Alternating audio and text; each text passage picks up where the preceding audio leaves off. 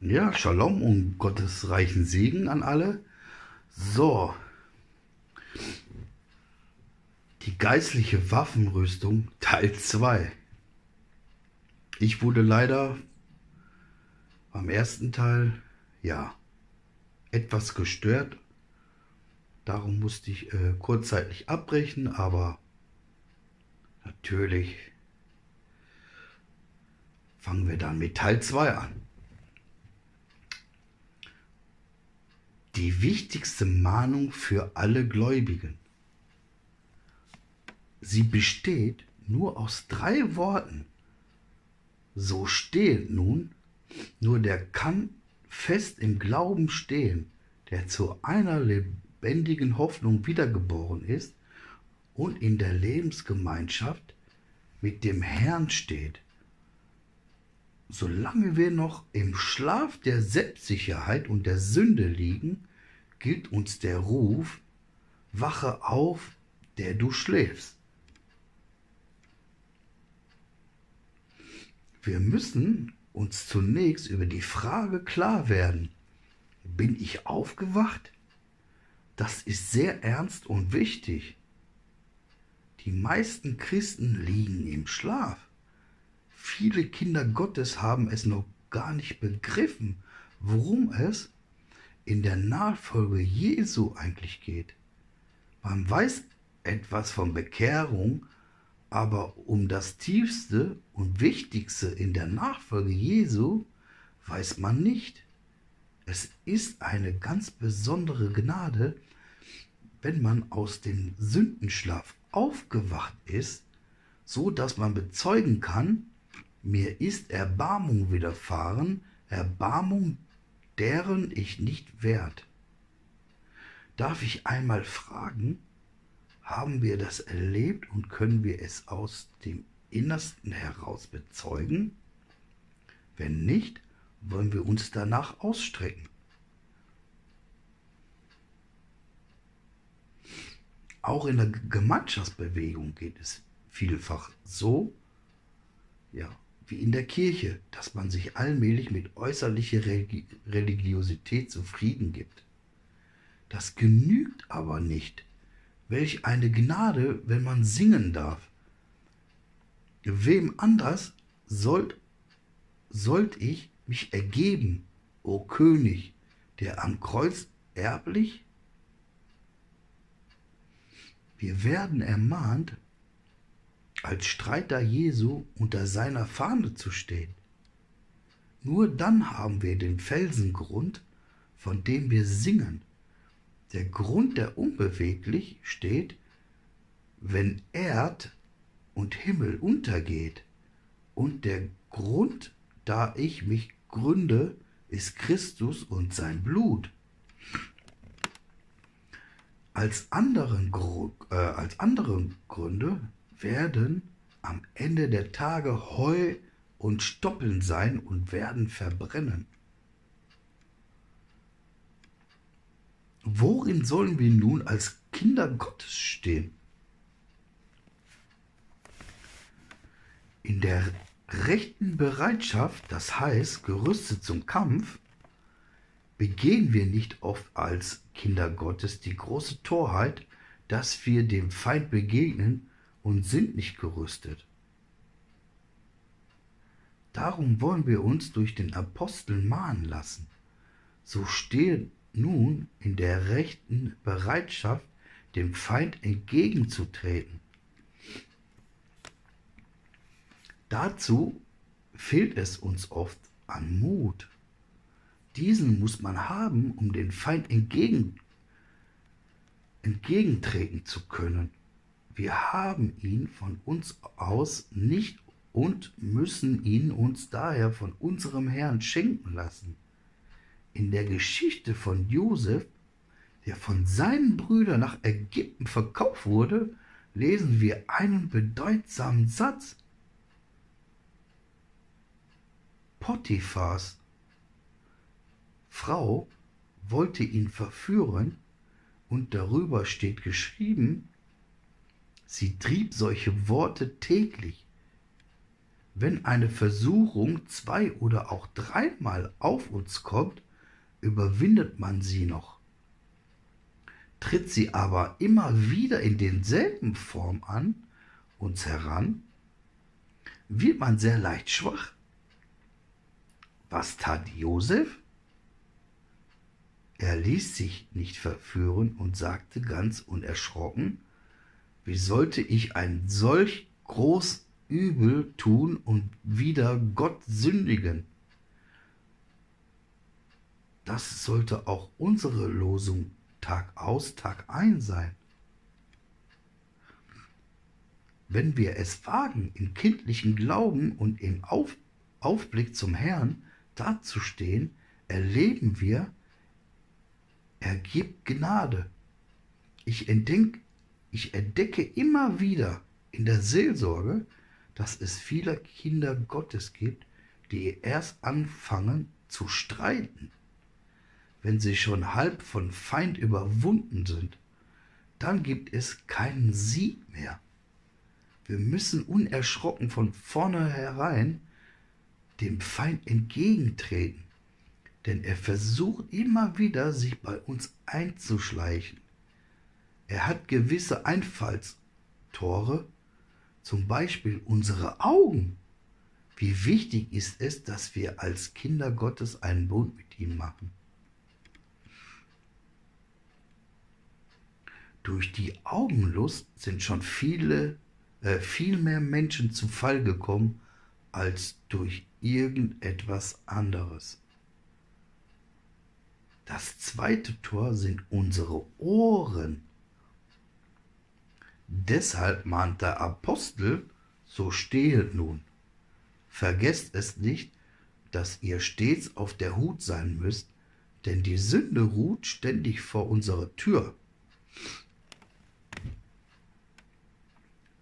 Nicht nur gelegentlich einmal, nein, ständig. Dieses Wort gilt nicht für die Kinder der Welt, sondern für die Kinder Gottes. Wenn wir vor der Sünde bewahrt werden wollen, müssen wir das Stehen recht gelernt haben. Das heißt, wir müssen alle Zeit in Alarmbereitschaft stehen. Nur dann rechnen wir jeden Augenblick mit dem Signal, der Feind kommt. Kinder Gottes müssen es lernen, in der rechten Standhaftigkeit zu stehen. Immer wieder mahnt die Heilige Schrift, haltet stand. Wir können jetzt auch sagen, haltet aus. In 4. Mose 13, Vers 31 steht, wir vermögen nicht hinaufzuziehen gegen das Volk, denn sie sind uns stark. Dieses Wort will uns sagen, dass wir nicht in eigener Kraft den Feind besiegen können, denn der Fürst der Finsternis ist zu stark.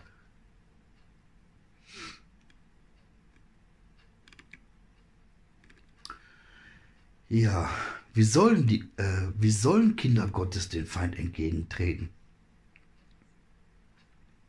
Der Apostel Paulus gibt uns darauf die Antwort mit dem Gurt der Wahrheit. Der Apostel Paulus denkt hierbei an das Gewand der Orientalen, ein langes, weites Oberkleid, das bis auf die Füße herabhing. Dieses lange Gewand war bei der Arbeit hinderlich. Wenn man eine Reise antrat oder in den Kampf zog, legte man einen breiten Gürtel um, der das, äh, der das ganze Gewand zusammenhielt was zur leichteren äh, Bewegung diente. Kinder Gottes sollen ihre Lenden umgürten. Also, ja, umgürten. Das sagt uns die Heilige Schrift ganz besonders im Blick auf den Wiederkommen vom Herrn. Lasset eure Lenden umgürtet sein. Lukas 12, Vers 35. Mit welchem Gurt sollen wir umgürtet sein? Der Apostel Paulus sagt es uns mit dem Gurt der Wahrheit.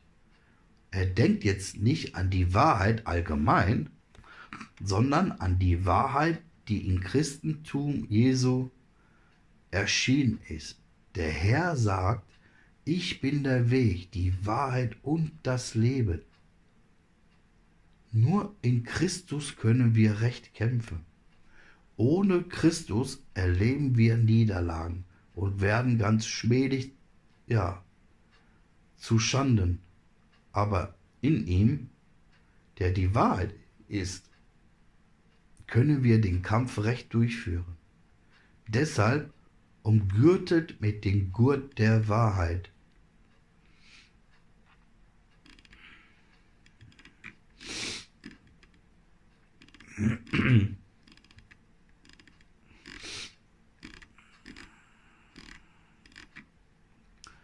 Ja, die Macht der Wahrheit im Leben der Gläubigen. Worin besteht sie? Die Wahrheit macht uns frei. Wer den Gurt der Wahrheit umgelegt hat, gelangt zur herrlichen Freiheit der Kinder Gottes. Wie Paulus in Römer 8 sagt, da macht der Herr Wohnung und in unserem Herzen und er, der angefangen hat, das gute Werk in meinem und deinem Leben, der wird es auch vollenden. Der Geist der Wahrheit macht uns durch und durch lauter und deckt auch die kleinste Sünde auf. Je näher wir bei Jesus leben, desto zarter und feinfühliger werden wir der Sünde gegenüber. Er heiligt und reinigt uns. So erkennen wir das Wort, so stehet nun umgürtet mit dem Gurt der Wahrheit, für unser Glaubensleben ein wichtiges und wertvolles Wort ist. Wer in der Wahrheit ist, kann unmöglich mit irgendeiner geheimen Sünde leben. Er lässt keinerlei Neigung zum Bösen aufkommen. Er will nur den Willen des Herrn tun. Wenn wir den, wenn wir den Gurt der Wahrheit umgelegt haben, haben wir einen Helfer, Jesus Christus, er, der für uns den Sieg davongetragen hat, schenkt uns Gnade von einem zum anderen, äh, von einem Sieg zum anderen zu gelangen. Darum stehet fest, seid innerlich stark, umgürtet mit dem Gurt der Wahrheit.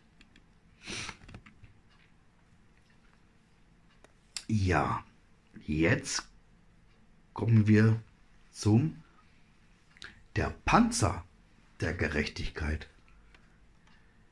In Epheser oder Epheser 6, Vers 14, angetan mit dem Panzer der Gerechtigkeit.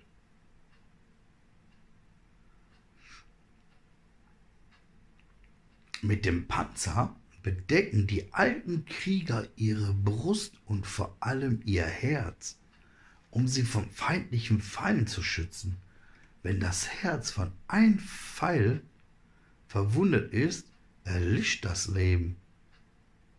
Nun redet der Apostel hier von dem Panzer der Gerechtigkeit. Diesen Panzer wollen wir einmal genauer betrachten. Durch den Sündenfall lösten Adam und Eva sich von Gott und wurden die Stammeltern eines verlorenen Menschengeschlechts. Nun sind wir alle ohne Ausnahme von Geburt an verlorene Menschen und gehören zu dem großen Geschlecht der Verlorenen.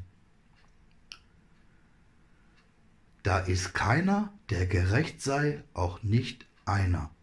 Römer 3, Vers 10. Was steckt an Sünden doch schon alles in einem Kinde. Es ist trotzig, eigensinnig und eigenwillig. Es lügt sogar. Wenn Eltern das zum ersten Mal an ihren Kindern entdecken, werden sie traurig, weil sie merken, das ist unser Erbgut.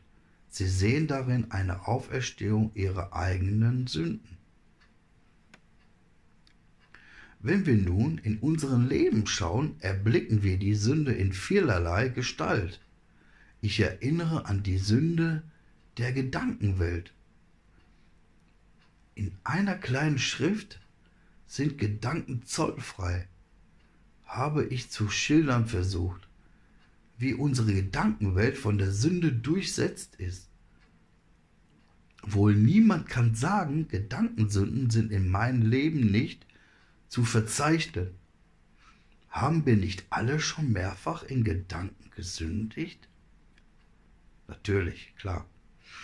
Wie viele Sünden haben wir auch durch Worte auf uns geladen?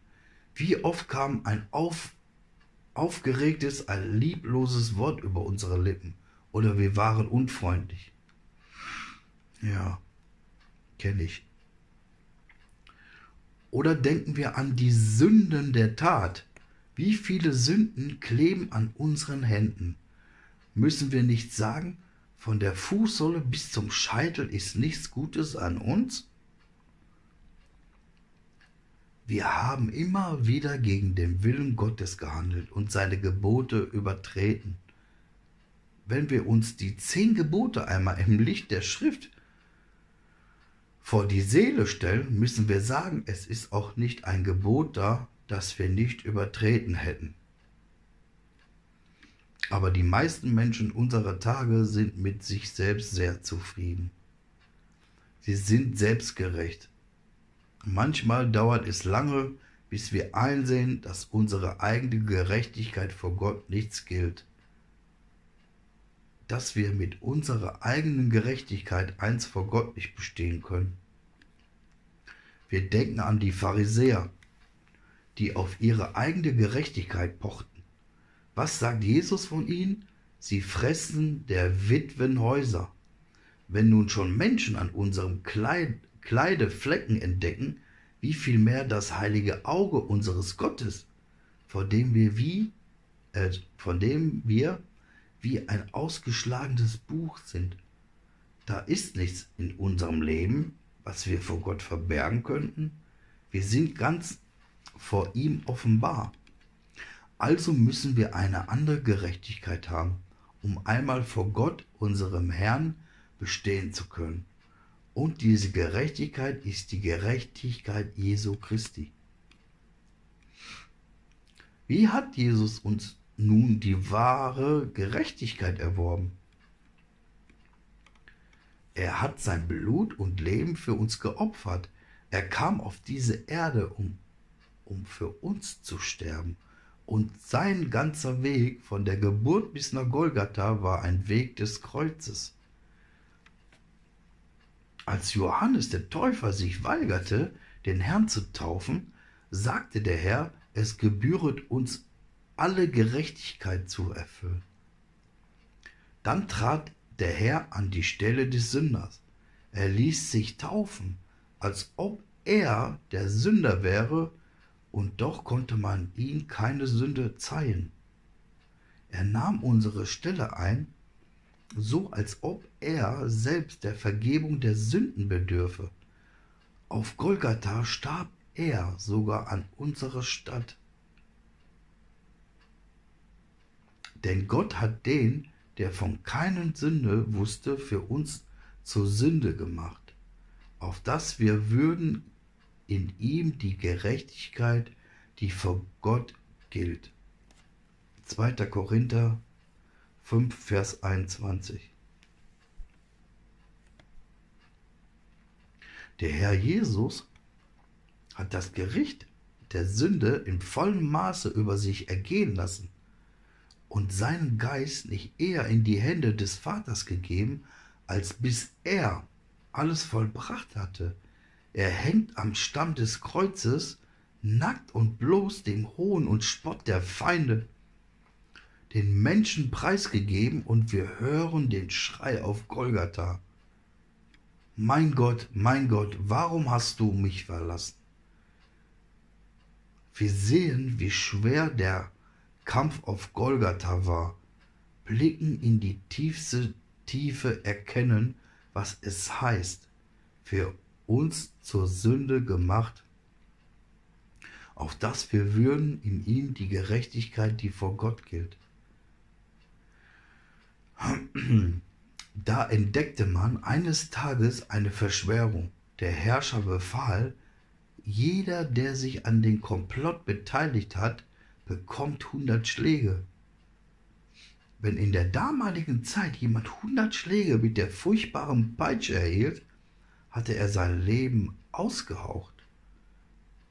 Man forschte nach dem Urheber und fand die Mutter des Regenten. Als man ihm das mitteilte, wurde er sehr traurig, sagte aber, ein, Re ein Regentenwort gilt. Bringt meine Mutter und stellt euch mit den Peitschen auf. Dann trat der Regent vor, nahm seine Mutter den Peinigern fort und begab sich selbst an ihre Stelle. Darauf gab er den Befehl losschlagen. Er nahm die Peitschenhiebe für seine Mutter auf sich, ließ sich für seine Mutter strafen. Nun schau nach Golgatha. Da hat Jesus sich nicht nur für unsere Strafen lassen, sondern die Sünde hinweggeräumt. Er hat das ursprüngliche Verhältnis zwischen Gott dem Vater und der Menschheit wiederhergestellt. Indem Christus nun für uns den Fluch auf sich nahm, hat er uns von dem Fluch der Sünde befreit. Auf Golgatha sehen wir, wie sehr Gott die Sünde verabscheut, dass er selbst seinen eigenen Sohn für uns dahingab. Aber Golgatha verkündet uns noch ein zweites.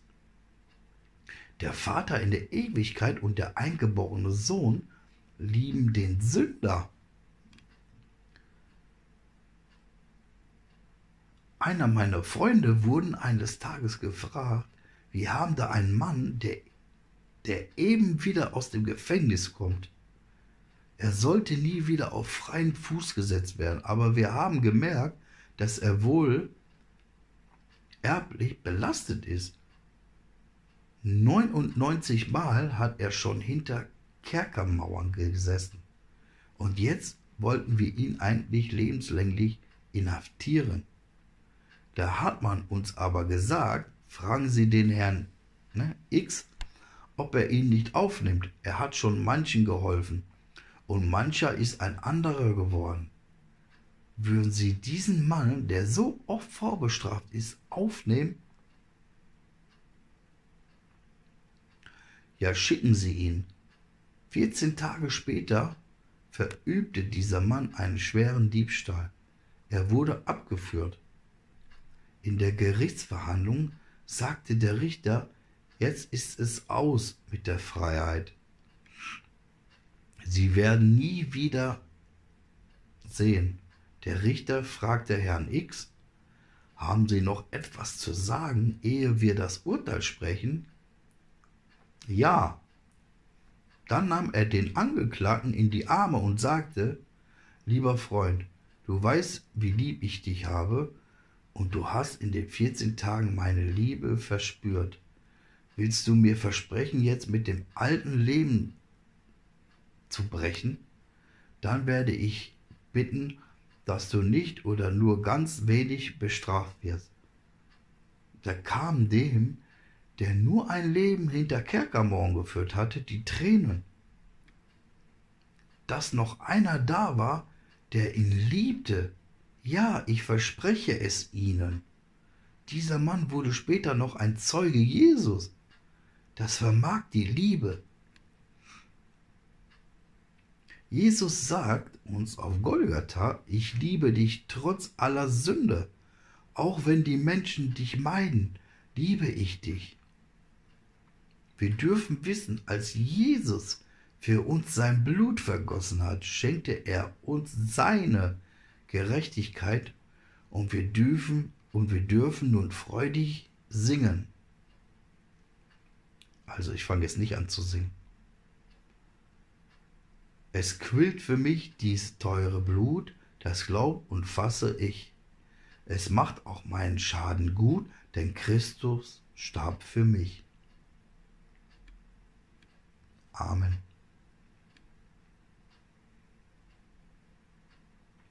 Ganz hell und laut dürfen wir jubeln und jauchzen. Christus ist meine Gerechtigkeit. Kannst du das auch sagen? Lass uns den preisen, welcher uns gemacht ist von Gott zur Weisheit und Gerechtigkeit und zur Heiligung und Erlösung. 1. Korinther 1, Vers 30. Könnt ihr mal nachschauen.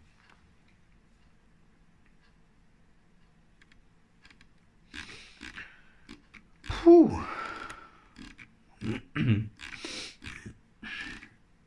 Ja, meine Lieben.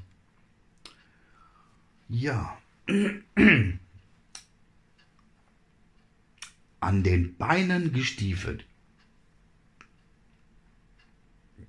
Und an den Beinen gestiefelt, bereit einzutreten für das Evangelium des Friedens. Epheser 6, Vers 15.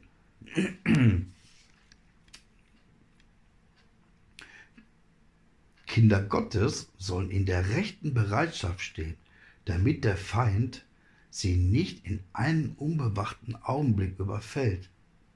Zur rechten Bereitschaft gehören auch die Stiefel. Was hilft es einem Soldaten, wenn er gut schießen kann und keine Stiefel hat? Wie wichtig ist es doch, dass wir als Kinder Gottes die rechten Stiefel anhaben. Stiefel, mit denen wir durch dick und dünn gehen können. Fehlt es in unseren Tagen in der Gemeinde Jesu nicht an, an diese Schuhen? Gehen nicht so viele barfuß? Wer barfuß geht, verletzt sich leicht. Nur eine Kleinigkeit. Und die Brüder und Schwestern sind verwundet. Hat man einmal nicht den rechten Ton getroffen oder ist der eine oder andere nicht gebührend beachtet worden, so fühlt man sich auf dem Fuß getreten. Ein Beweis dafür, dass ein wichtiges Stück in der Waffenrüstung der Kinder Gottes nicht angezogen wurde. Man ist nicht nur verletzt, sondern oft sogar entrüstet in der Gemeinde. Jesu stößt man sich an allem Möglichen und es heißt oft, wenn der in die Bibelstunde geht, komme ich nicht mehr. Mit dem kann ich nicht in einer Reihe sitzen. Wer so redet, hat eins der wichtigsten Stücke der Waffenrüstung abgelehnt. Ob wir nicht auch etwas abgelegt haben? Abgelegt, was wir nicht ablegen dürfen? festgehalten, was wir schon längst hätten ablegen sollen. Wir suchen die Schuld schon so gern bei den anderen und nicht bei uns. Hätten wir Gläubigen die rechten Stiefel an, wären wir nicht so leicht beleidigt und verletzt. Das ist ein Mangel im Glaubensleben.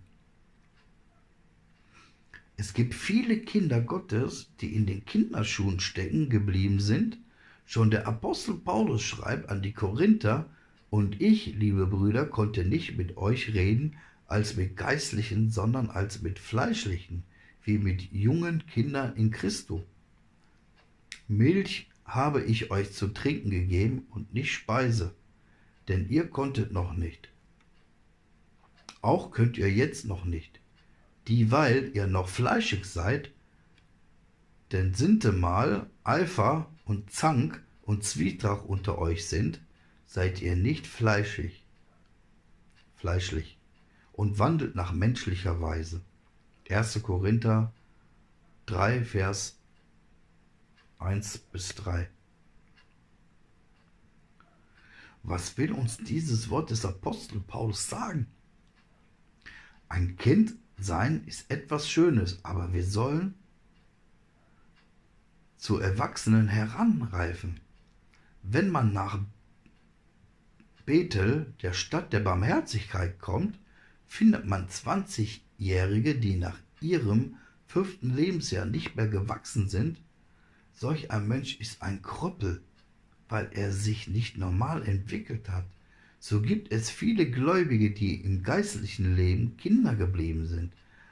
Da ich aber ein Mann war, tat ich ab, was kindisch war. 1. Korinther, Vers 13, äh, 1. Korinther 13, Vers 11. Paulus redet also von Kindern und von solchen, die kindisch sind, das heißt von geistlichen und fleischlichen Menschen. Der Geist macht Christus groß, das Fleisch das eigene Ich. Bei einem Geistlichen steht Christus stets im Mittelpunkt, bei dem Fleischlichen das eigene Ich. Wie steht es da bei uns? Solange unser Ich im Vordergrund steht, haben wir vergessen, die Stiefel anzuziehen. Wenn Christus unser Ein und alles geworden ist, werden wir froh und dankbar.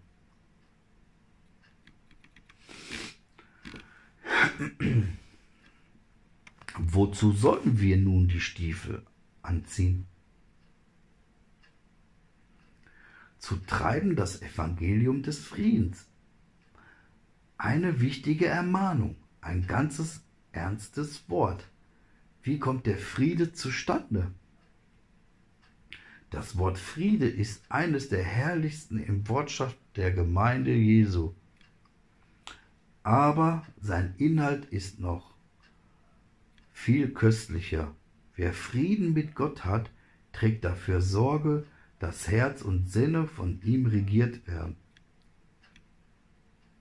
Durch die Sünde ist die Erde eine Stätte des Unfriedens geworden. Die Heilige Schrift sagt uns, die Gottlosen haben keinen Frieden. Als jedoch die Zeit erfüllt war, sandte Gott seinen Sohn, den eingeborenen Sohn voller Gnade und Wahrheit auf dieser Erde. Und der Apostel sagt von ihm, er ist unser Friede. Ehe aber Christus unser Friede werden konnte, musste Gott das Hindernis fortnehmen, das zwischen ihm, der Quelle des Friedens und den Kindern der Welt stand, nämlich die Sünde. Gott versöhnte die Welt mit sich selber. Der Herr Jesus hat die Sünde, den Fluch und das ganze Gericht auf sich genommen. Auf Golgatha ist es Wahrheit geworden. Er ist unser Friede. Nun ist dieser Friede für alle Menschen da. Wir bekommen ihn durch das Evangelium. Deshalb sagt der Apostel Paulus, zu treiben das Evangelium des Friedens. Das Evangelium, das uns verkündet wird, ist die frohe Botschaft und sagt uns immer wieder, was Gott in Christus für uns getan hat. Nun dürfen die Friedensboten allen die Botschaft bringen, lasset euch versöhnen mit Gott. Wer diese Botschaft im Glauben für sich in Anspruch nimmt, der erfährt, dass das Blut Jesu reinwäscht von aller Sünde und Schuld. Nun wir denn sind gerecht geworden durch den Glauben, so haben wir Frieden mit Gott durch unseren Herrn Jesus Christus. Römer 5, Vers 1. Friede ist also das Resultat der, Gerecht, äh, der Rechtfertigung aus Glauben. Haben wir alle schon diesen Frieden mit Gott erlangt? Können wir sagen, er ist mein Friede, das Wort unser genügt nicht? Wir müssen eine persönliche Beziehung zu Gott haben, so dass wir es wirklich wissen. Er ist mein Friede, Es kommt darauf an, dass wir sagen können, Jesus ist mein Heiland, mein Friede. Kannst du es noch nicht sagen? Dann warte nicht mehr lange, äh, länger. Der Herr möchte sich in seiner Gnade auch an deinem Herzen offenbaren, dass du es fröhlich singen kannst.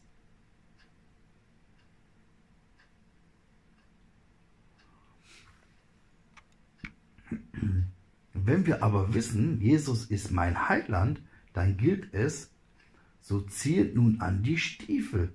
Der Herr rüstet uns aus. Zur Verkündigung des Evangeliums des Friedens. Wir sollen die Botschaft vom Frieden weitertragen. Denn Friedenskinder sind Friedensbringer. Vergessen wir es nie, Gottgezeugte müssen Zeugen des Herrn sein. Friedenskinder stehen gestiefelt da, sie sind bereit, als seine Zeugen aufzutreten.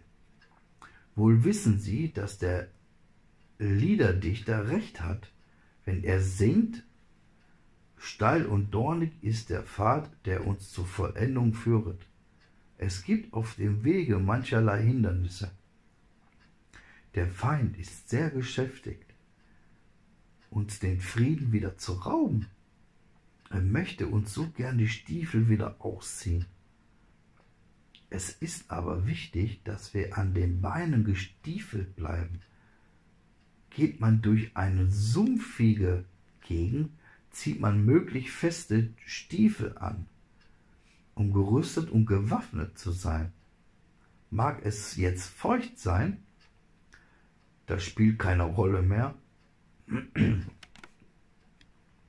Fertig zu treiben das Evangelium des Friedens, und zwar trotz aller Hindernisse und Schwierigkeiten. Da können uns keine Leiden, keine Trübsale abschrecken.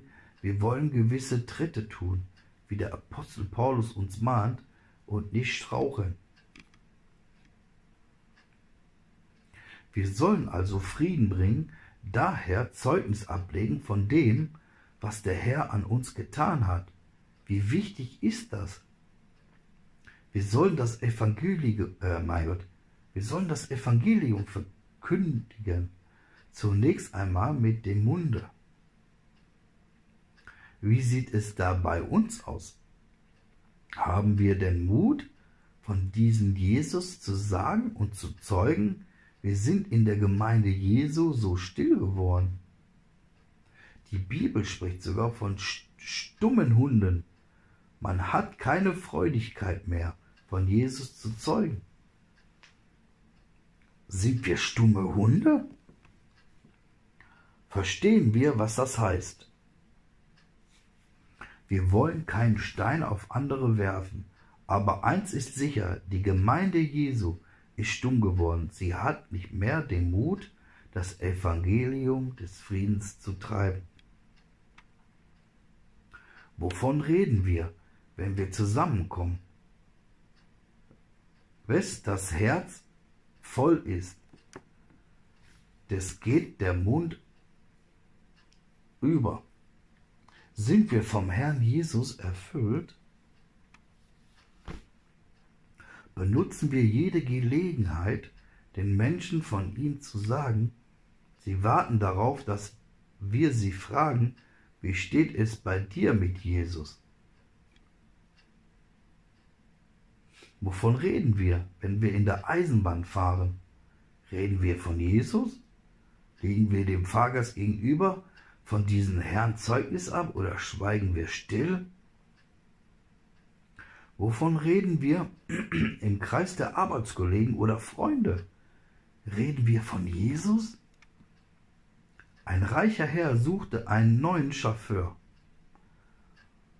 Eine Reihe Bewerber hatte sich gemeldet,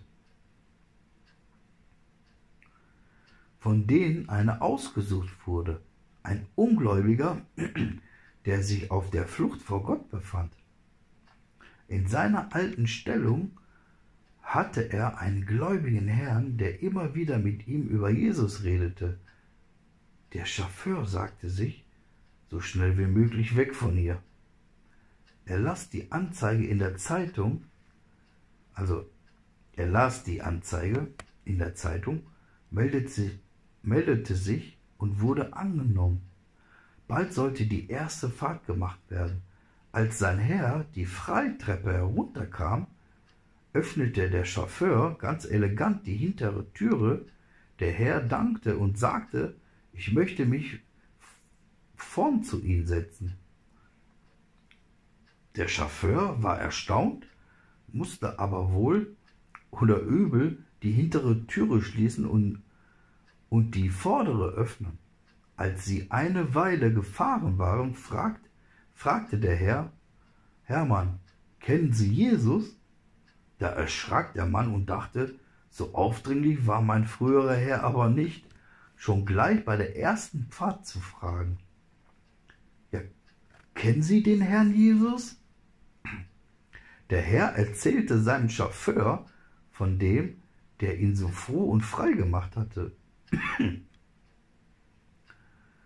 Wenn wir doch mehr Mut hätten, ganz bewusst unseren Auftrag auszuführen, deshalb sage ich im Namen Jesu, Bruder, Schwester, die Stiefel müssen angezogen werden. Bald kommt der Herr wieder, und damit der große Tag, an dem er uns fragen wird, weshalb hattest du keinen Mut von mir zu zeugen? Mag die Welt da draußen sagen, was sie will, mag sie höhnen und verspotten, wir haben den Auftrag Jesu zu treiben das Evangelium des Friedens. Wenn wir wirklich mit ganzem großen Mut vom Heiland zeugten, würde die Welt aufhorchen und mancher würde zum Herrn geführt werden. Friedenskinder sollen stets friedfertig sein, das heißt, keine Feindschaft untereinander dulden. Der Apostel Paulus sagt uns, so viel an euch ist, habt mit allen Menschen Frieden. Der Wunsch eines Friedenkindes ist es, mit allen Menschen Frieden zu haben und immer wieder feurige Kohlen aus, äh, auf das Haupt des Feindes zu legen. Das Geheimnis müssen wir lernen damit der Herr sich offenbaren kann. Lesen wir doch einmal die ersten Verse aus 1. Könige 18. Da steht Elia vor uns, der den großen Sieg auf den Kamel davongetragen hatte. Er schickt seinen Diener zu dem gottlosen König Ahab, der sein erbitterster Feind war, und lässt ihm sagen, Ziehe hin, iss und trink. Es rauscht, als wollte es sehr regnen, dem König fehlte aber der Läufer. Wenn in der, wenn in der damaligen Zeit ein König keinen Läufer hatte, redete das Volk über ihn und sagte, mit dem ist es nicht mehr weit her, er wird wohl bald seine Königskrone Königskrone niederlegen müssen. Was tat Elia? Handelte er so, wie wir es getan hätten und sagt, da wird der König einmal recht erfahren, was es bedeutet, Propheten Gottes zu folgen. Das ist der Lohn dafür. Es geschieht ihm ganz recht. Nein, Elia lief selbst vor dem König her bis nach Gezarel. Er sammelte feurige Kohlen auf, das Haupt seines Feindes, und am Anfang des letzten Verses steht das herrliche Wort, da kam die Hand des Herrn über ihn.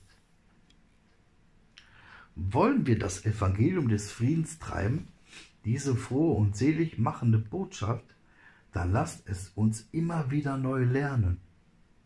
Friedenskinder sind friedfertige Leute. Nur wenn der Wandel mit dem Bekenntnis übereinstimmt, wird das Bekenntnis die Menschen überzeugen.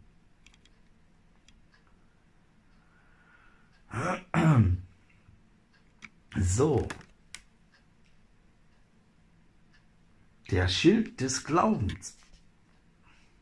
Vor allen Dingen aber ergreift den Schild des Glaubens, mit dem ihr auslöschen könnt alle feurigen Pfeile des Bösen. Epheser 6, Vers 16. Jedes Stück der Waffenrüstung hat seine besondere Bedeutung. Eins ist noch wichtiger als das andere. Ist aber nicht gerade der Schild des Glaubens besonders wichtig? Worauf entnehmen wir das? Der Apostel gebraucht hier die Worte vor allen Dingen. Daran sehen wir, wie wichtig und wertvoll der Schild des Glaubens für unser Leben ist. Ohne Glauben ist es unmöglich, Gott zu verfallen. Wir erinnern uns das Wort, das der Herr zur Martha sagte. Habe ich dir nicht gesagt, du, äh, habe ich dir nicht gesagt, so du glauben würdest, würdest du die Herrlichkeit Gottes sehen? Ich glaube, ich sage nicht zu viel, wenn ich behaupte. Wir erleben deshalb so wenig Wunder in unserem persönlichen Leben und in unseren Kreisen, weil wir nicht genügend auf dem Boden des Glaubens stehen, weil wir immer am Rechnen und Berechnen sind. Und das ist ein ganz falscher Weg. Auf dem Glaubensweg kommt es eben wirklich darauf an, ganz mit dem Herrn zu gehen. Im Geschäftsleben, äh, im Geschäftsleben muss man zwar rechnen, aber auf den Glaubensboden rechnet man nur mit ihm. Nun sagt der Apostel Paulus, er, ergreifet den Schild des Glaubens. Das Wort ergreifet sollten wir uns ganz dick unterstreichen, denn es sagt uns, der Schild des Glaubens ist da. Wir brauchen ihn also nicht erst herstellen zu lassen, er ist da und liegt auf Golgatha für uns bereit. Wenn wir ihn ergreifen, wenn wir davon Gebrauch machen, merken wir, wie glücklich und gesegnet wir durch die Gnade Jesu Christus sein dürfen. Wenn der Apostel hier sagt, ergreifet den Schild des Glaubens, meint er nicht den Kopfglauben. Der Kopfglaube ist nur ein Fürwahr halten. Er ist ein Glaube, der das Wissen bereichert, aber das Herz nicht berührt. Wir brauchen jedoch den Glauben, der seinem Wesen nach ein herzliches Vertrauen ist. Das Wesen, äh, das Wesen des lebendigen Glaubens hat zwei Seiten. Einmal ist dieser Glaube herzliches Vertrauen und zum anderen Erkenntnis. Vertrauen auf unserem Herrn bedeutet, sich darauf zu stützen. Alle Gottesverheißungen sind Ja und Amen in ihm. Auf diese Verheißungen gründet sich der lebendige und wahre Glaube, und darum ist man bereit, stets den Weg des Gehorsams zu gehen. Der Glaube ist auch eine, er ist auch eine Erkenntnis, er beruht auf dem Licht, das der Heilige Geist seinen Kindern schenkt. Ich denke dabei an das Wort des Apostels. Gott hat uns einen hellen Schein in unserem Herzen gegeben, und in diesen hellen Schein dürfen wir ganz getrost vorangehen. Dieser Glaube ist das innere Auge, mit dem wir unserem Herrn im Geiste schauen dürfen. Wir wissen, er starb für uns auf Golgatha. Er reinigt uns von allen Sünden und Schuld und vertritt uns mit unaussprechlichem Seufzen. Das ist das Dreifache, was das Glaubensauge erleben und erfahren darf. Wir fragen weiter, wie entsteht nun dieser Glaube? Der Glaube ist etwas, was uns kein Mensch schenken kann. Er entsteht im Menschenherzen durch den Geist Gottes. In Römer 10, Vers 17 sagt der Apostel Paulus, der Glaube kommt aus der Predigt. Also da, wo das Wort vom Kreuz verkündet wird, beglaubigt der Heilige Geist diese Botschaft an den Herzen der Menschen. Der Heilige Geist macht uns das Wort so lebendig, dass wir merken, es ist für mich.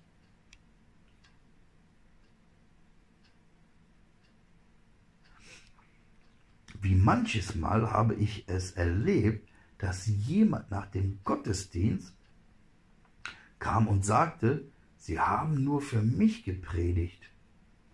Schon als sie den Text lasen, fühlte ich mich persönlich angesprochen. dass der Heilige Geist selbst den Rednern führt, um sein Ziel zu erreichen, habe ich auch erfahren, während des ersten Liedes sagte einmal eine Stimme zu mir, nimm diesen Text. Ich sagte darauf zum Herrn, Herr, warum soll ich jetzt noch einen anderen Text nehmen? Aber wieder hieß es, nimm diesen Text. Da habe ich still meine Hände gefalten, Herr, ich bin bereit, den Text zu nehmen. Dann musst du aber von Anfang bis Ende reden. Du weißt, auf diesen Text habe ich mich nicht vorbereitet. Es kam der letzte Vers des Liedes. Und noch einmal hieß es, nimm den Text. Ich sagte, Herr, ich bin gehorsam, so schenke mir das hörende Ohr und lege mir deine Worte auf die Lippen. Nach den Segen kam eine junge Frau und sagte, wissen Sie, weshalb Sie gerade über diesen Text gepredigt haben? Nein, ich wollte eigentlich über ein anderes Wort sprechen. Sie antwortete, das Wort war für mich, ich war fest entschlossen, noch heute Abend mein Leben wegzuwerfen. Aber ich sagte mir, noch einmal will ich unter das Wort gehen, und als sie den Text verlasen, hörte ich deutlich eine Stimme. Das Wort gilt dir. Seht, das tut der Heilige Geist. Er öffnet uns Auge, Ohr und Herz. Wie heißt es bei der Lydia? Ihr tat ihr, ihr Herz, äh, er tat ihr das Herz auf, so kommt der Glaube aus der Predigt. Alles, was der Heilige Geist aufdeckt, dürfen wir dem Herrn bringen, denn er ist der Sünderheiland.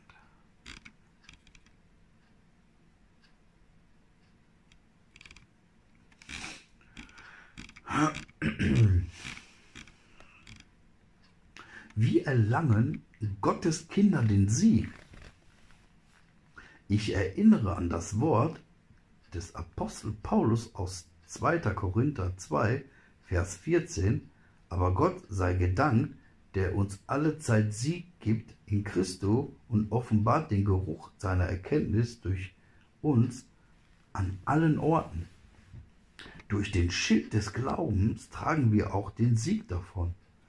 Es heißt nicht hier und da Sieg, sondern alle Zeit Sieg. Jeder von uns ist an einer bestimmten Stelle besonders leicht verwundbar. Da sagt uns der König aller Könige, nimm den Schild des Glaubens, halte ihn fest und du wirst immer überwinden. Johannes sagt, wer aus Gott geboren ist, der tut nicht Sünde. Wörtlich heißt, also wörtlich heißt es, wer aus Gott geboren ist, der bewahrt sich. Und zwar nicht in eigener Kraft, sondern in der Kraft Jesu. Eine andere Übersetzung sagt, der von Gott geborene bewahrt ihn und der Arge kann ihn nicht antasten. 1. Johannes 5, Vers 18. Wer ist der von Gott geborene? Es ist Jesus. Der Apostel schreibt an die Hebräer, und Gnade findet auf die Zeit, wenn uns Hilfe Not sein wird. Hebräer 4, Vers 16. Wann ist uns denn Hilfenot? In der Stunde der Versuchung. Im Urtext steht sogar, auf dass wir Gnade finden zur rechtzeitigen Hilfe. Die rechtzeitige Hilfe setzt aber nicht erst ein, wenn wir schon gefallen sind, sondern vor dem Fehltritt und vor dem Fall, das heißt in der Stunde der Versuchung. Deshalb haltet den Schild des Glaubens hoch. Dann singt man mit Freuden vom Sieg in den Hütten der Gerechten, die Rechte des Herrn behält den Sieg. im Psalm 118, Vers 15 und sagt, sie erhalten einen Sieg nach dem anderen, dass man sehen muss, der gerechte, äh, der rechte Gott sei Zion. Psalm 84, Vers 8.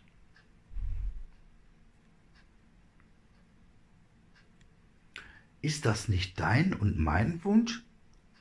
Möchten wir nicht ein solches Leben führen, einen Sieg nach dem anderen? Dann lass uns doch das Wort des Apostels einmal ganz ernst nehmen. Vor allen Dingen ergreift den Schild des Glaubens, mit welchem ihr auslöschen könnt alle feurigen Pfeile des Bösewichts.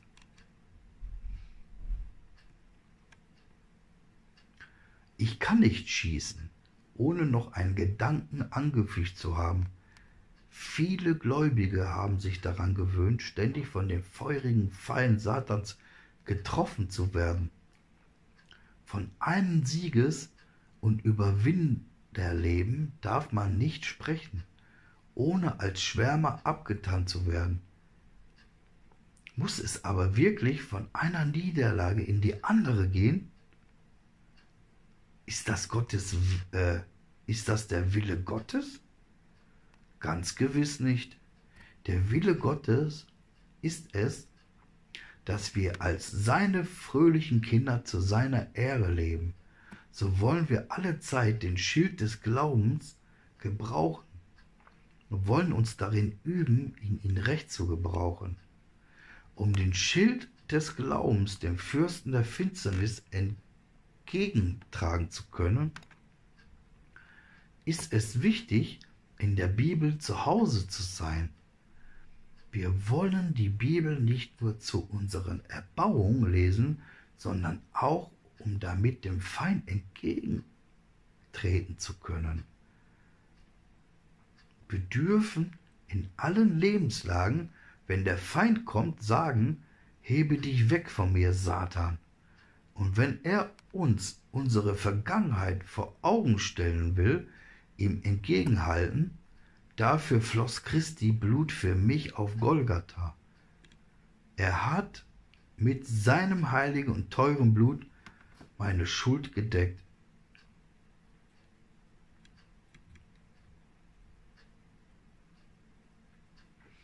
Liebster Jesu, sieh, ich hülle mich in dich hinein Oh, da bin ich gut geboren, kann ich sicher sein. Amen. Dann benutzen wir den Schild des Glaubens recht, wenn wir in Christus geborgen und in ihm eingehüllt sind, dann werden wir erleben, es gibt ein Leben des Sieges. So lass uns recht kämpfen in der Gnade unseres Herrn. Lass uns ritterlich kämpfen. Der Helm des Heils. Nehmt den Helm des Heils. Epheser 6, Vers 17.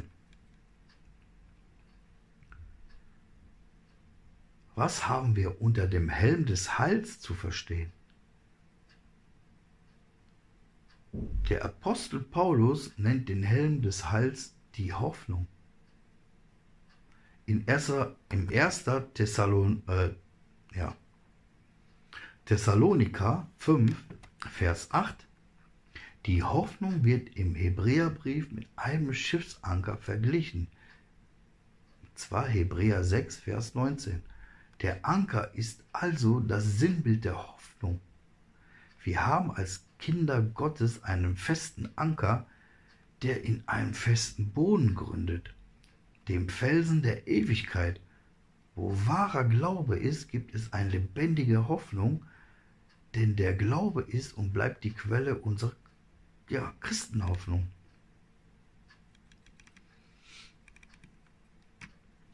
Welches ist der Grund unserer Hoffnung? Wenn wir in der Bibel schauen, erkennen wir einen doppelten Grund. Durch die Wiedergeburt werden wir zu Kinder Gottes. Wenn unsere Hoffnung sich auf diese Wiedergeburt gründet, können wir getrost und fröhlich sein. Viele Menschen hoffen einmal selig zu sterben, aber ihre Hoffnung hat keinen sicheren Grund. Wenn man sie fragt, sind sie wiedergeboren? Sind sie hell empört, aber die Heilige Schrift sagt, dass die Wiedergeburt der Grund unserer Hoffnung ist. Wiedergeboren heißt, das Alte ist vergangen, siehe, es ist alles neu geworden. Denn ist jemand in Christus, so ist er eine neue Kreatur. Darauf kommt es also an, es handelt sich bei der Wiedergeburt nicht um eine oberflächliche Veränderung, sondern um eine grundlegende Umwandlung. Einst ferne, nun aber nahe gebracht durch das Blut des Lammes. Nur der Geist Gottes, der Heilige Geist, bringt diese Wiedergeburt in unserem Leben zustande. Die Wiedergeburt ist also die Quelle der Hoffnung, die wir als Kinder Gottes haben. Nehmet den Helm des Heils heißt, tragt dafür Sorge, dass ihr wiedergeboren seid. Ein anderer Grund unserer Hoffnung ist die Heilsgewissheit. Äh, Wenn man hin und her in manchen Kreisen von der Heilsgewissheit spricht, wird man gleich als Schwärmer hingestellt. Man betrachtet das Wichtigste und Wertvollste im Leben eines wahren Gotteskindes als Schwärmerei. Wer das sagt, kennt weder seine Bibel noch sein Gesangbuch, noch sein, ja, sein Gesangbuch. Alle drei Bücher reden ganz klar von der Heilsgewissheit. Würden wir einmal das Alte und das Neue Testament durcharbeiten, könnten wir die Entdeckung machen, dass beide Teile von der Heilsgewissheit reden. Wie ein roter Faden zieht sich der Gedanke von der Heilsgewissheit durch die Heilige Schrift. Die Heilsgewissheit ist ja erst die Krone unseres Glaubens. Luther sagte einmal, Wer die Heilsgewissheit leugnet, der speit den Glauben aus. Wie mancher Kritiker müsste sich das heute sagen lassen. Der Grund unserer Heilsgewissheit ist Christus selber. Auf Golgatha hat er uns das Heil erworben. Jesus ist deine und meine Heilsgewissheit. Wer ihn hat, darf seines Heils gewiss sein.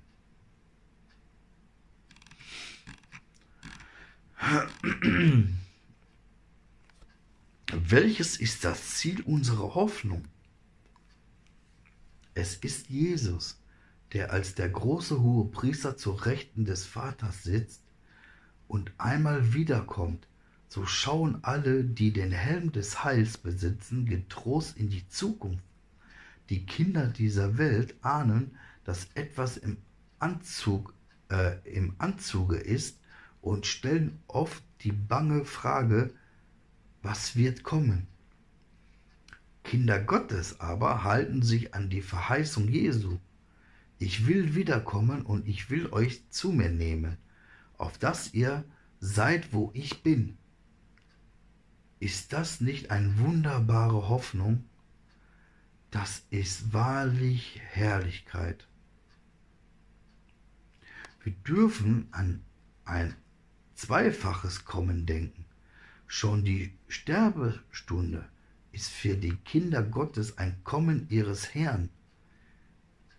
Da lag eine Mutter in der Blüte ihrer Jahre auf dem Sterbebett und bat immer wieder, O komm, Herr Jesu. Sie ging dann fröhlich heim in die ewig ewige Herrlichkeit. Im Blick auf jene Hoffnung ruft Paulus aus, ich habe Lust abzuscheiden und bei Christus zu sein, Auch er weiß um das Geheimnis. Wenn Kinder Gottes aus der Welt gehen, sind sie gleich bei dem Herrn und dürfen alle Zeit bei ihm sein. Er sagt an anderer Stelle, Christus, der ist mein Leben und Sterben ist mein Gewinn. Wir können auch sagen, Christus, der ist mein Leben und Sterben ist mein Erben. Wenn wir sterben, treten wir unsere Erbe an. Das wusste auch äh, Stephanus. Wehrlos war er den Steinwürfen seiner Feinde ausgesetzt.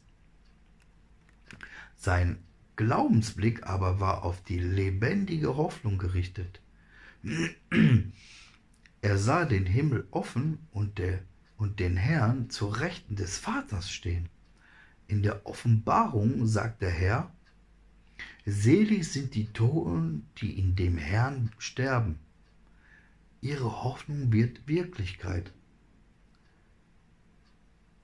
Zur lebendigen Hoffnung gehört auch das Warten auf die Erlösung unseres Leibes. Am Kreuz auf Golgatha, als der Herr ausrief, es ist vollbracht, hat er uns von der Sünde erlöst.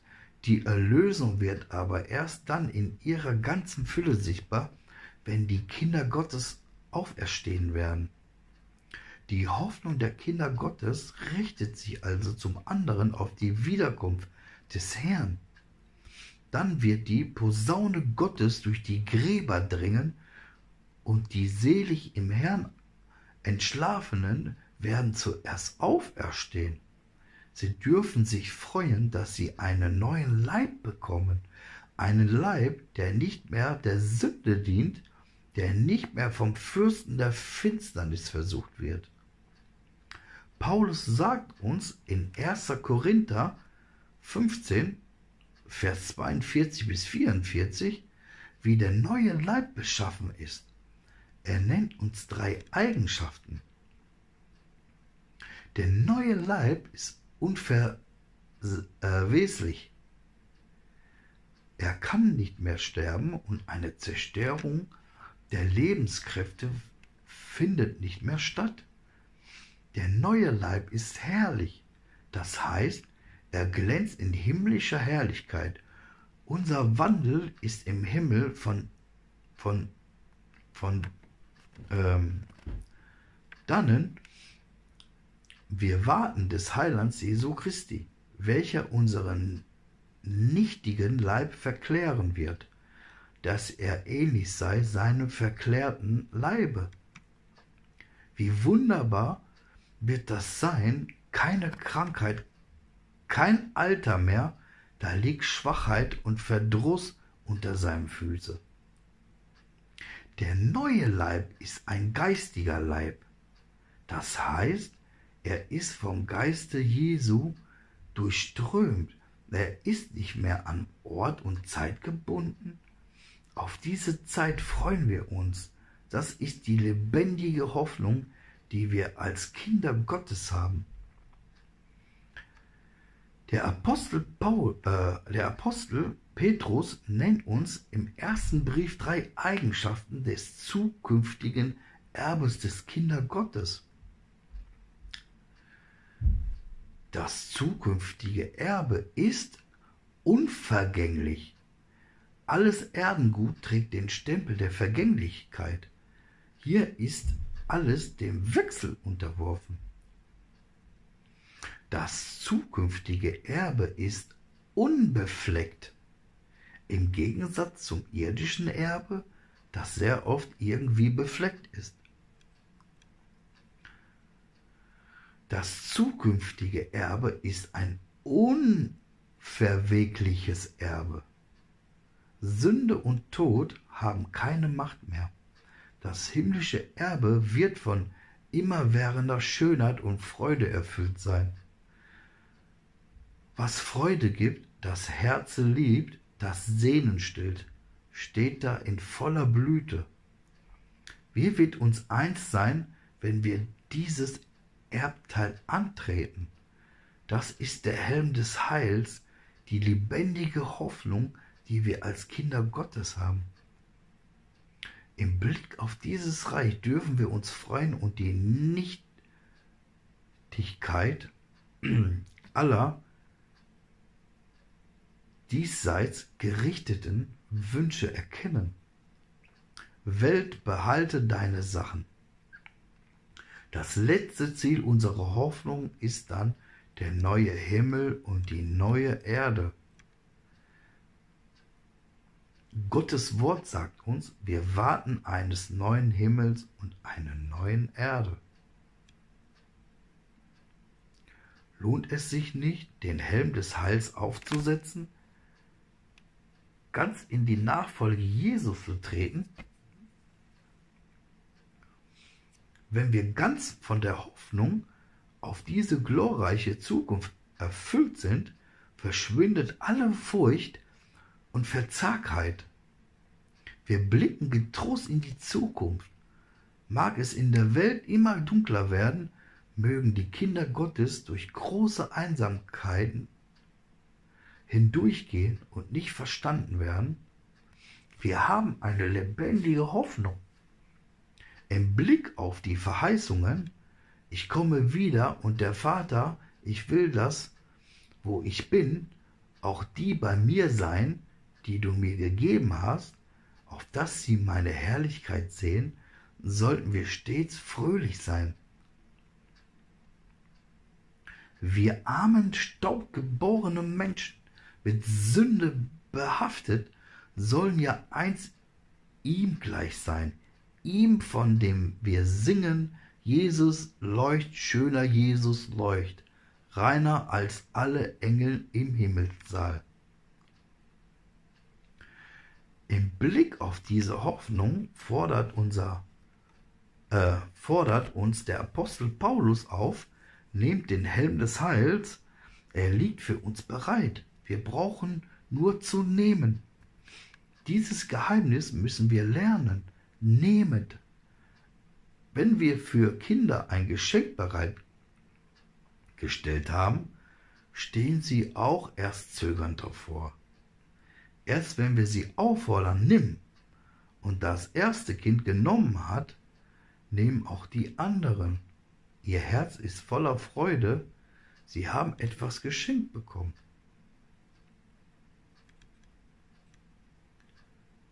Was ist die Wirkung dieser lebendigen Hoffnung? Sie macht die Kinder Gottes Mut im Kampf. Viele Gläubige unserer Tage sind verzagt. Sie haben vergessen, den Helm des Heils zu nehmen. Denn in dem Augenblick, wo ich den Helm des Heils genommen habe, bekomme ich Mut. Ich freue mich darüber, dass ich dem Herrn entgegeneilen darf, und diese Hoffnung macht mich stark im Kampf und fähig, bis zum Ziele auszuharren. Seid männlich und seid stark, mahnt der Apostel.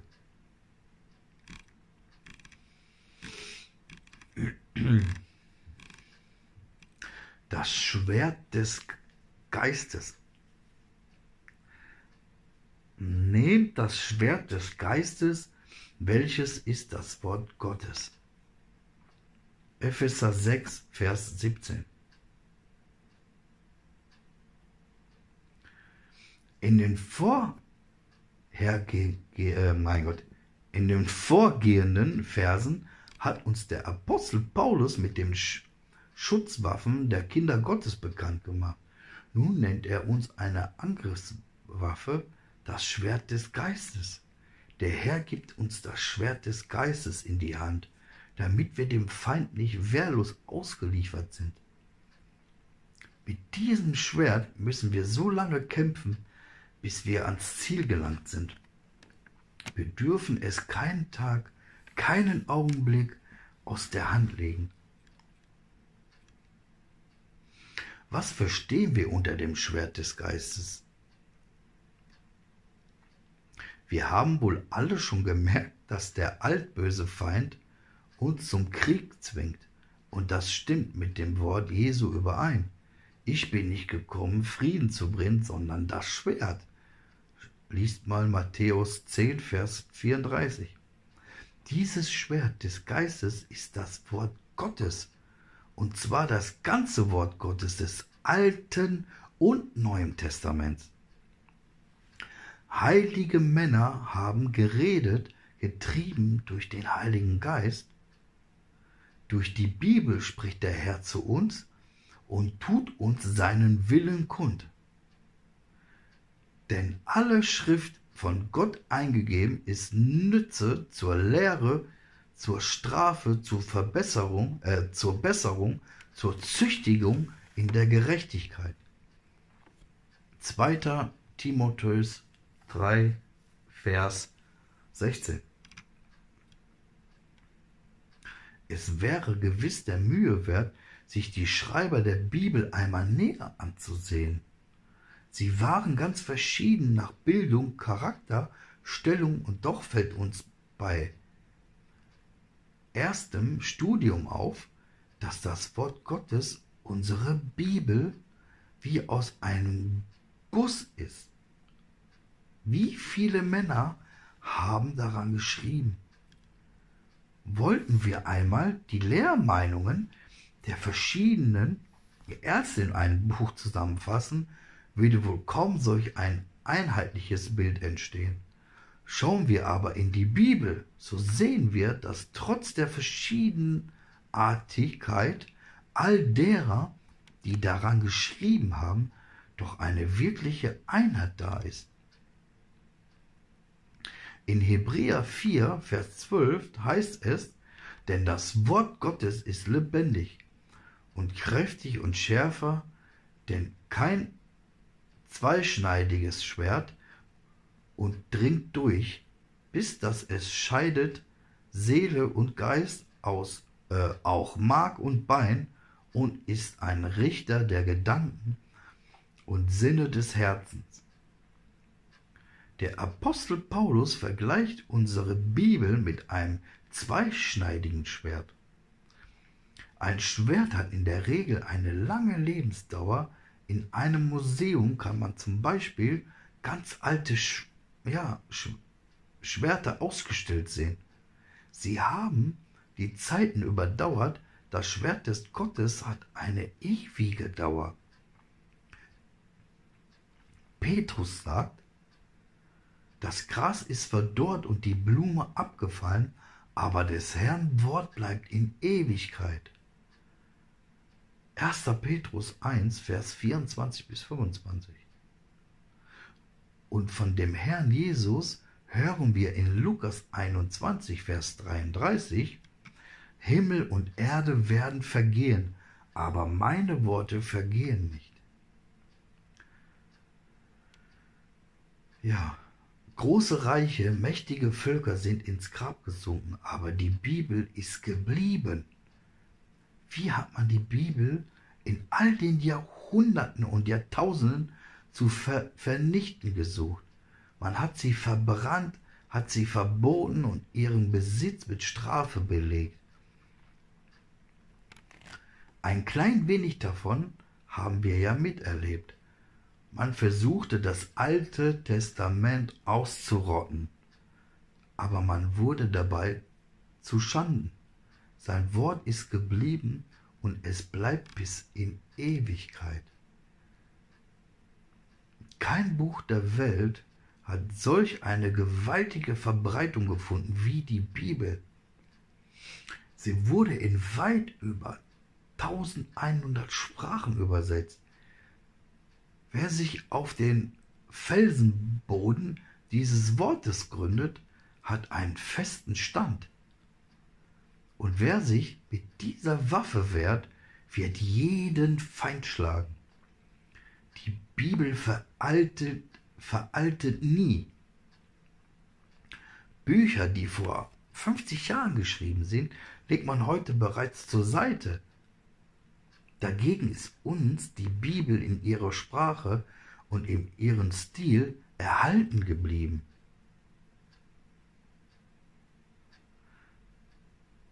Es sagte einmal jemand zu mir, Bruder Müller, hm, wenn wir heute die Menschen ziehen wollen, müssen wir modern werden. Wir können nicht mehr erwarten, dass sich Leute eine Stunde hinsetzen und das Wort Gottes betrachten. Ich antwortete ihm, lieber Freund, über eurem Kreise, über eurem Vereinshaus läuten schon die Totenglocken. Es dauert nicht lange, dann beerdigt ihr euren Kreis. So ist es auch geschehen. Das Schwert des Geistes ist und bleibt dasselbe. Alle Verheißungen der Bibel werden sich eins erfüllen, und auch sie dürfen uns als Waffe gegenüber dem Feind dienen. Ein Schwert hat verschiedene Eigenschaften. Zunächst einmal ist es blank und glänzend. Jeder Soldat muss darauf achten, dass das Schwert immer blank ist. Wehe, wenn es irgendeinen Rostflecken aufweist. Das Schwert des Geistes hat die gleiche Eigenschaft. Es gibt einen hellen Schein in die Herzen der Menschen. Es ist das Licht, das an einen dunklen Ort scheint. Es gibt uns das Licht über Gott, dem Vater, über den Herrn und über den Heiligen Geist. Diese Worte zeigt uns, wer unser Vater ist, nämlich die ewige Liebe, heißt es doch. Ich habe dich je und je geliebt. Darum habe ich dich zu mir gezogen aus lauter Güte. Schaut mal ähm, Jeremia 31, Vers 3. Gott hat seine Liebe darin bewiesen, dass er seinen Sohn für uns dahingab. Der Herr, der für uns sein Leben ließ, kennt uns und ist um uns besorgt.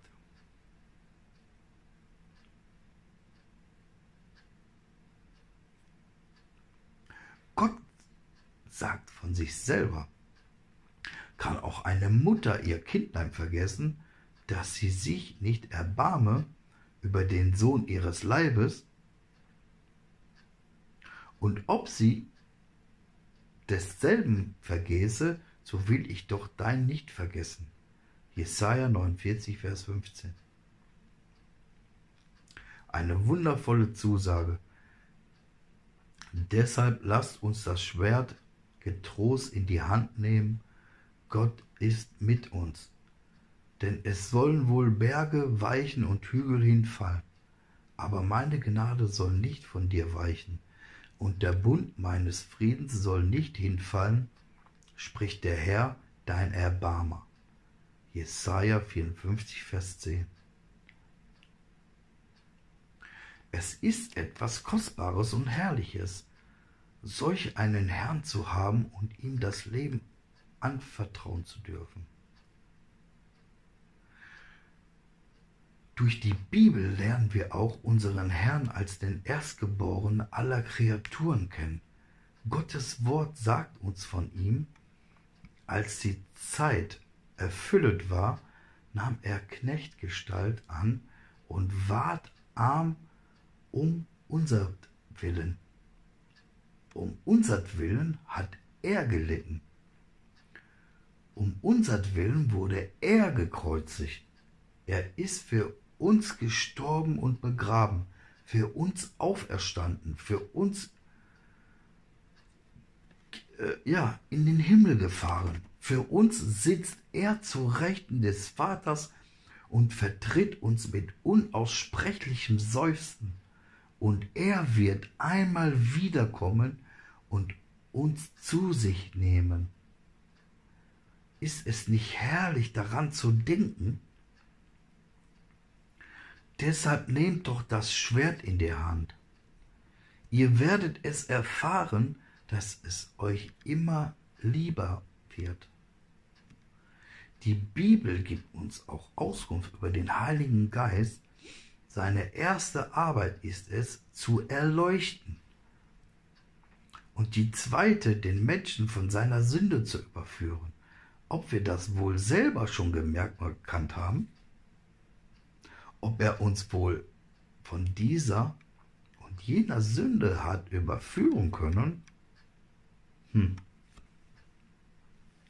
dann schenkt uns der Heilige Geist die Heilsgewissheit und belebt uns, haben wir es schon einmal gemerkt, wie wir innerlich gestärkt und belebt wurden?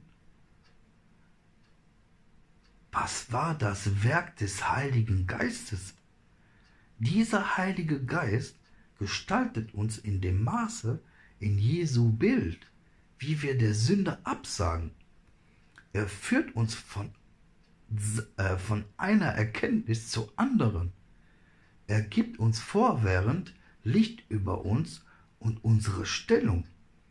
Er zeigt uns, wo wir stecken geblieben sind und führt uns. Das Wort Gottes soll unseres Fußes Leuchte und ein Licht auf unserem Wege sein. Wir brauchen nicht mehr im Dunkeln zu tappen. Im Psalm 19, Vers 9 heißt es, die Befehle des Herrn sind richtig und erfreuen das Herz. Die Gebote des Herrn sind lauter und erleuchten die Augen. Dass wir das doch immer wieder erleben, sein Wort erfreut unser Herz und ich freue mich wie einer, der eine große Beute hat. Das Schwert muss scharf sein. Ein stumpfes Schwert ist für den Kampf ungeeignet. Deshalb sagt Gottes Wort, es ist schärfer denn kein zweischneidig Schwert.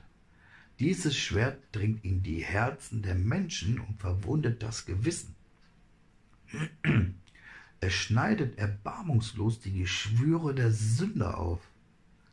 Aber es heilt auch überall dort, wo das Schwert des Geistes wirklich in der Kraft Gottes überzeugt wird, äh, bezeugt wird, kommen Menschen zur Wiedergeburt. Denken wir nur an das erste, ja, Pfingstfest. Wie hat sich da das Schwert des Geistes bewiesen? 3000 kamen zu lebendigen Glauben, äh, leben, lebendigen Glauben. Nicht umsonst heißt es ja, das Schwert des Geistes, der Heilige Geist, der uns die Heilige Schrift schenkte, führte auch heute dieses Schwert und kein Mensch auf der Erde entrinnt ihm.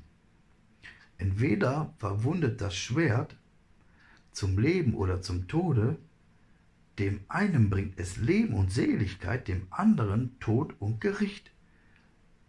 Diese ernste Wahrheit wollen wir nie vergessen.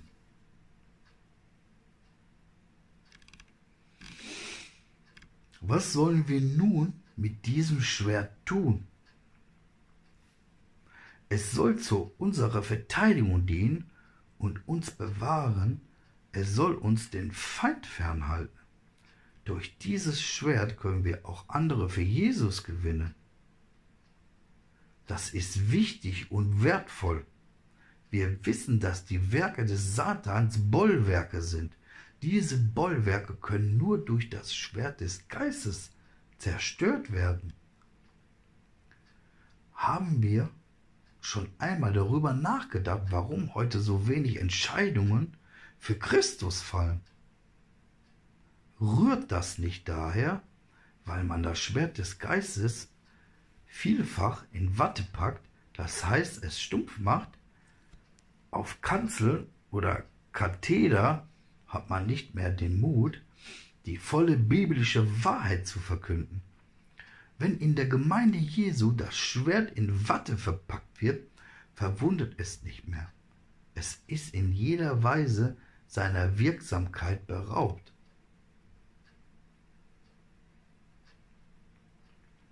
Jeder, jeder, der Bibelstunden hält oder predigt, muss zunächst das Schwert des Geistes gegen sich selbst richten, damit er nicht anderen predige, und selbstverwerflich werde, wenn wir bekehrt sind, wenn wir wiedergeboren sind zu einer lebendigen Hoffnung, dann ist es wichtig, dass wir das Schwert des Geistes immer wieder auf uns wirken lassen.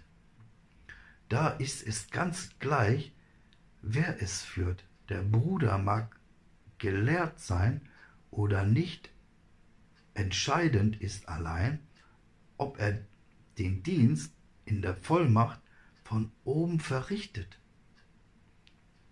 Nur dann kann das Wort verwunden 19, äh, 1920 am Anfang meiner Reisetätigkeit traf ich in der Gemeinde Jüllenbeck drei alte Brüder schon hoch in die 80. Ich fragte sie, ihr habt doch noch so ein bisschen vom alten Folgenling miterlebt. Ja, antworteten sie. Wie war es denn damals? Immer, wenn wir aus ne, der Kirche kamen, mussten wir sagen, heute haben wir einen ja, tüchtigen Rippenstoß bekommen. Nach mancher Bibelstunde und nach manchen Gottesdienst vermisst man den Rippenstoß. Das Schwert war nicht scharf. Deshalb nehmet das Schwert des Geistes, in der Heiligen Schrift steht, es ist ein Richter der Gedanken. Im Urtext heißt es, es ist ein Kritiker der Gedanken.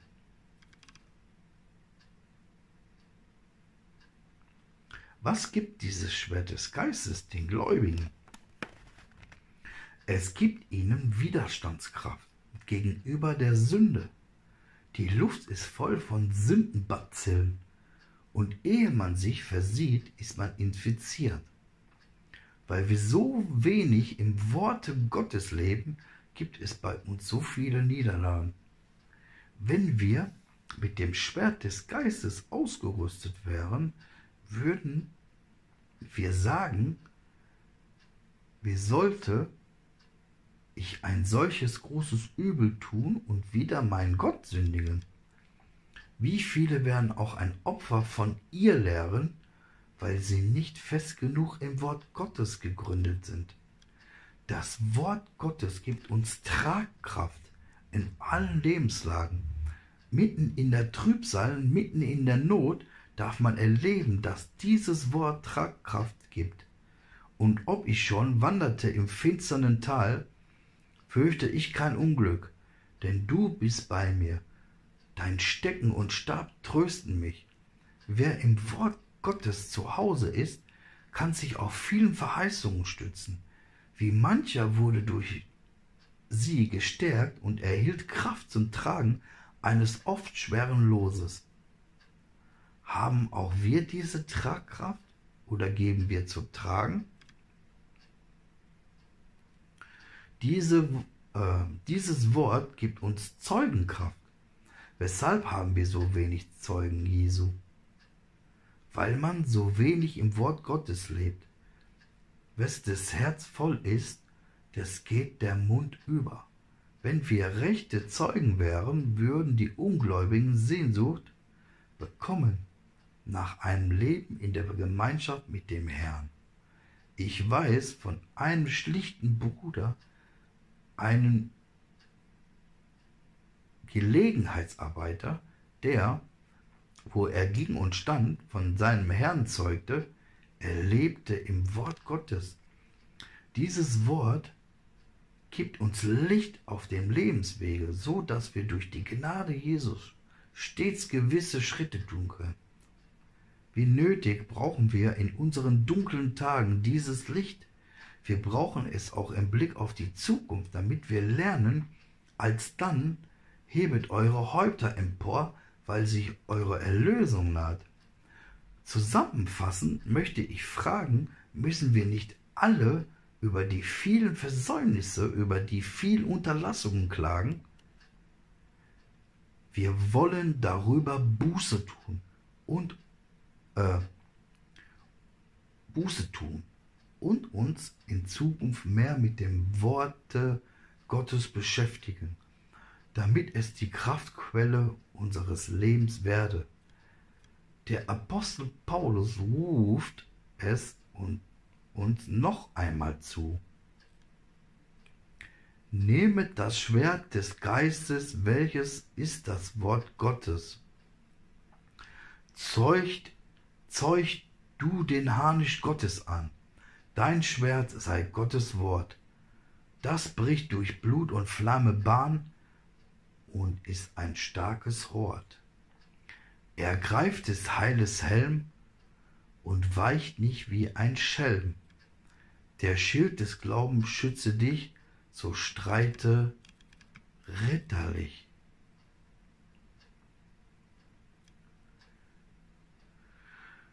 Ja, die Notwendigkeit des Gebets. Betet alle Zeit mit Bitten und Flehen im Geist und, und wacht dazu mit aller Beharrlichkeit im Gebet für alle Heiligen und für mich, dass mir das Wort gegeben werde, wenn ich meinen Mund auftue, freimütig das Geheimnis des Evangeliums zu verkünden. Epheser 6, Vers 18 und 19.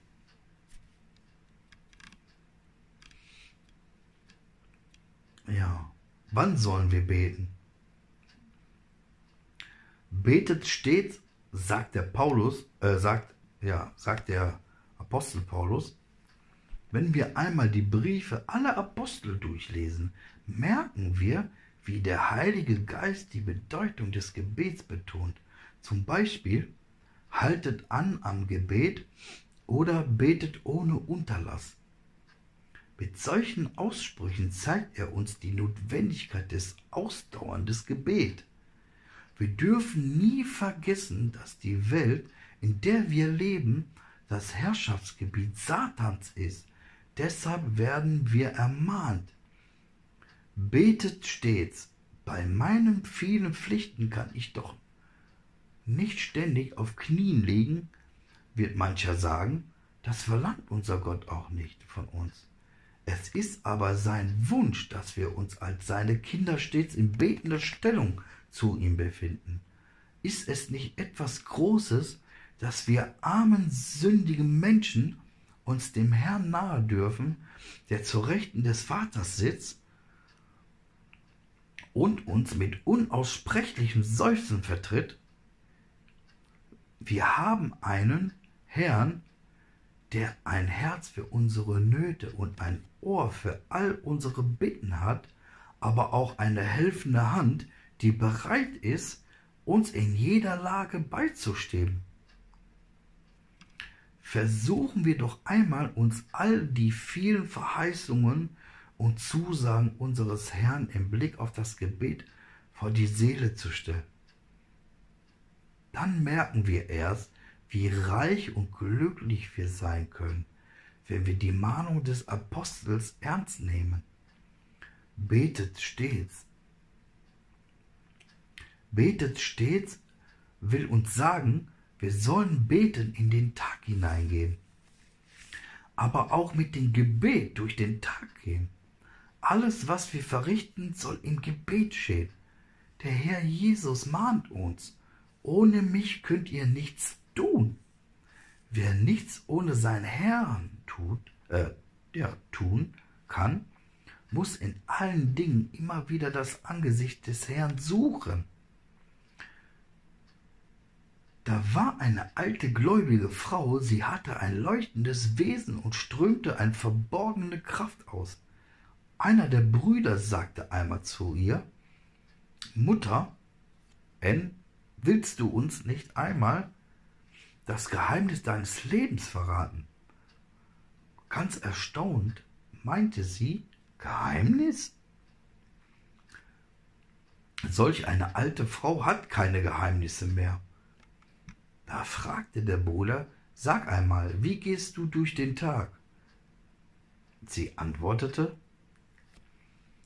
wenn ich morgens aufstehe und meine Kleider anziehe, sage ich, Herr, so wie ich jetzt die Kleider anlege, leg du mir den Rock deiner Gerechtigkeit an. Wenn ich mich wasche, sage ich, lieber Herr, so wie ich mich jetzt mit Wasser wasche, wasche du mich mit deinem teuren Blute, dass ich gereinigt und bewahrt durch diesen Tag hindurchgehen kann. Wenn ich Speise zu mir nehme, sage ich, Herr, so wie ich jetzt diese Speise zu mir nehme, gib du mir die Speise auch für meine Seele. Wenn ich die Stube ausfege, sage ich, Herr, so wie ich jetzt den Staub und den Dreck ausfege, so fege du den alten Sauerteig aus meinem Leben.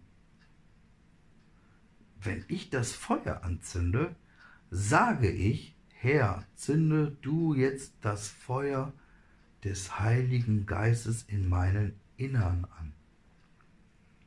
Das Geheimnis ihres Lebens war die Verwirklichung des Wortes. Betet stets in allem Anliegen. Beschämt jene alte Frau uns nicht, ob wir wohl auch so in der Waffenrüstung von oben durch unseren Tage durchgehen? Viele Kinder Gottes machen einen Fehler. Sie sagen in der Morgenfrühe, Herr, nun befehlen wir den heutigen Tag dir und deiner Gnade. Man geht an die Arbeit und betet erst wieder am Abend, wenn man zur Ruhe kommt. Man kennt nicht die ständige Gemeinschaft mit Gott. Betet stets. Wenn wir im Laufe des Tages so manche Entscheidungen ohne Gebet treffen, brauchen wir uns nicht zu wundern, wenn wir falsch geleitet werden. Ohne diese betende Verbindung mit dem Herrn kann er uns ja nicht auf dem Weg des Glaubens fröhlich führen.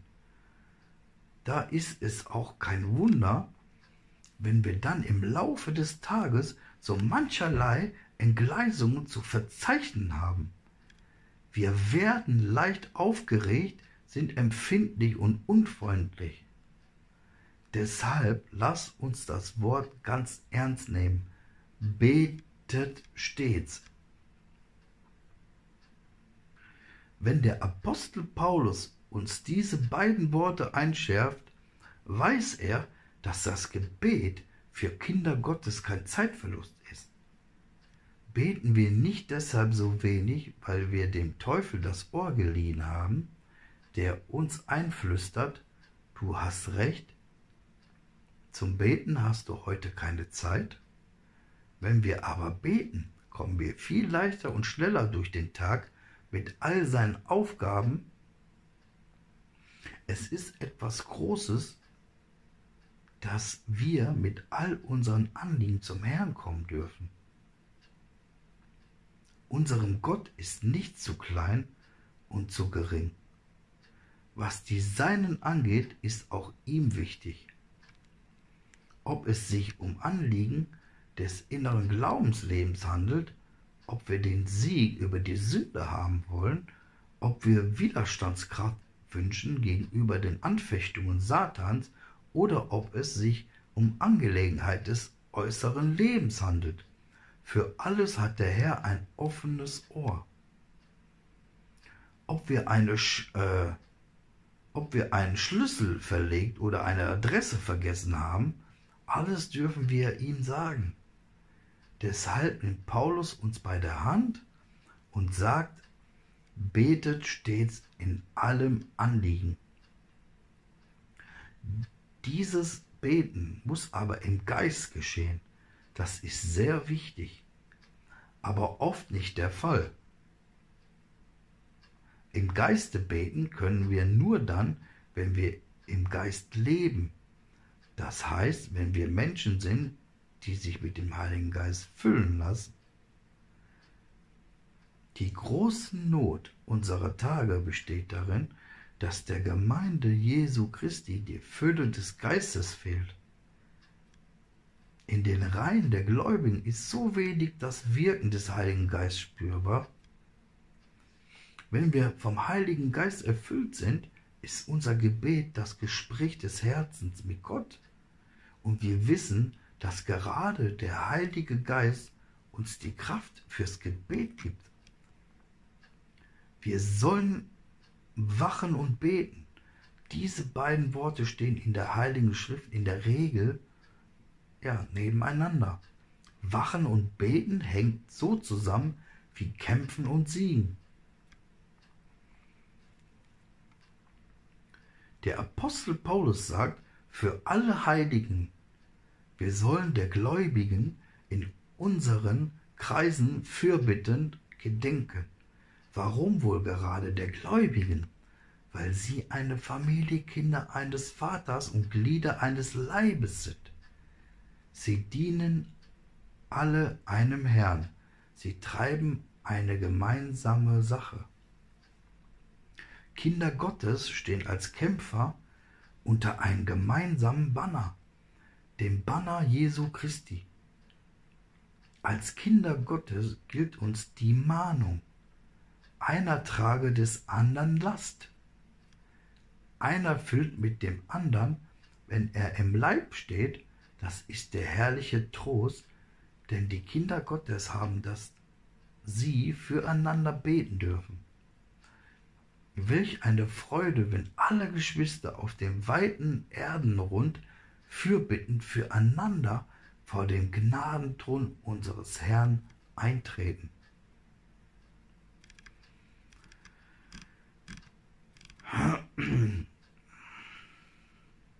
Auf das das Geheimnis des Evangeliums kund werde. Der Apostel Paulus weiß, wenn ich ein Zeuge Jesu sein soll, gebrauche ich die Gebetskraft und wo eine Schar von Betern ist, kann ich freilich für den Herrn wirken.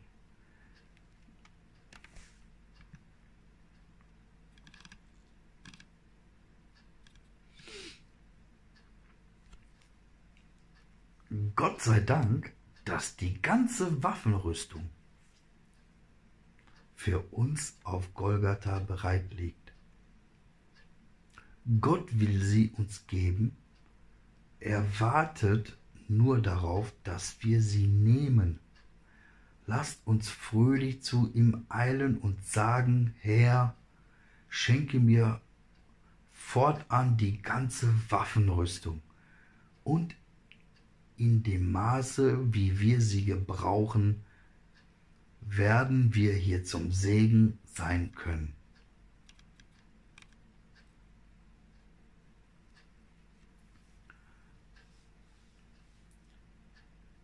Jesus, stärke deine Kinder und mach aus denen Überwinder, die du erkauft mit deinem Blut. Schaffe in uns neues Leben, dass wir uns stets zu dir erheben. Wenn uns entfallen will der Mut, gieß aus auf uns den Geist, dadurch die Liebe fleust. In die Herzen so halten wir getreu an dir, im Tod und Leben für und für. Amen. Ja, meine Lieben, puh, das war heute ein sehr, sehr langer Vortrag. Ja, meine Lieben, ich wünsche euch allen Gottes reichen Segen und immer dran denken, wir müssen bereit sein, jeden Tag Möge der Herr, Jesus Christus, euch reichlich segnen und schützen. Shalom.